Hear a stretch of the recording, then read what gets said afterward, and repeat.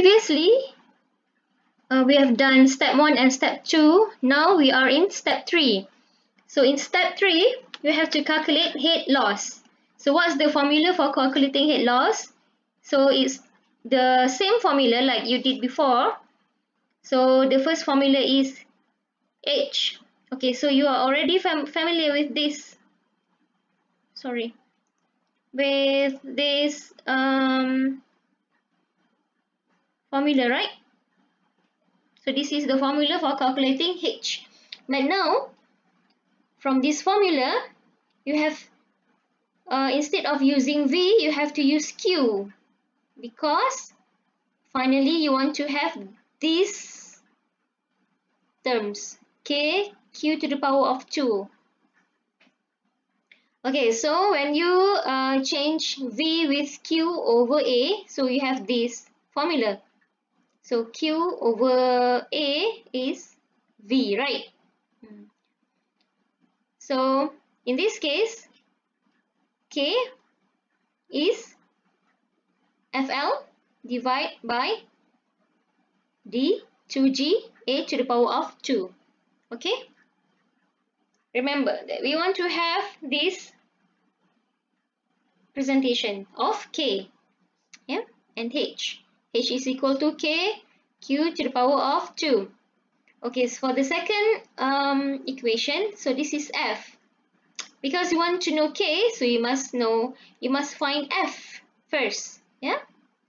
So it's just like, um, like before that we want to determine F using Moody diagram. But in this case, we don't use Moody diagram, but we use this equation instead. So this equation have been introduced to you in, in our previous lecture. Okay? Okay, next we have this equation. Okay, this is uh, since we need d over epsilon in this um, formula for calculating f. So now you have to know this.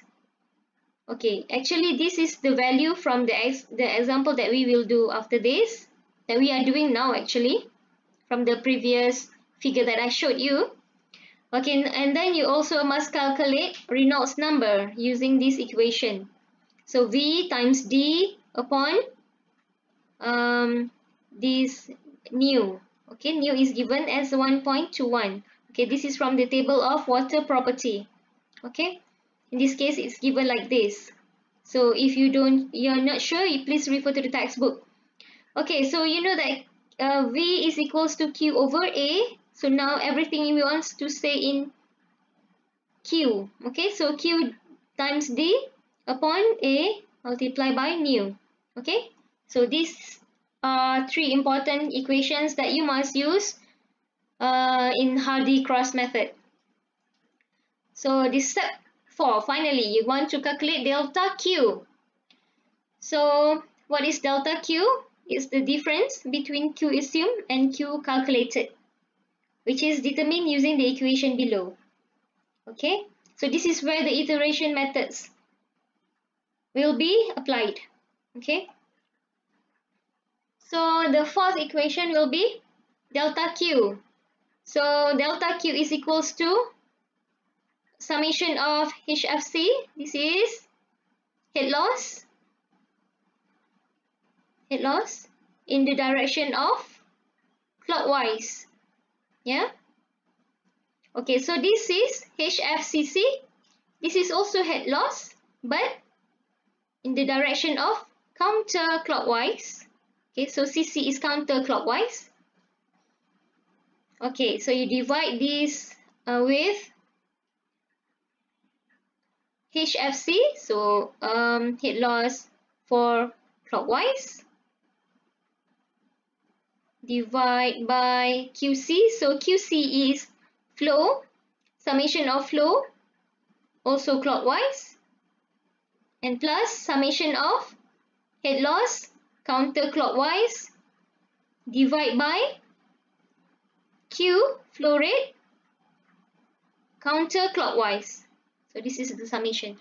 So if you want to know the derivation of this delta Q, you can refer to the notes that I gave you. So uh, you can find uh, the explanation from the from this article on Hardy-Cross method. Okay, this is all.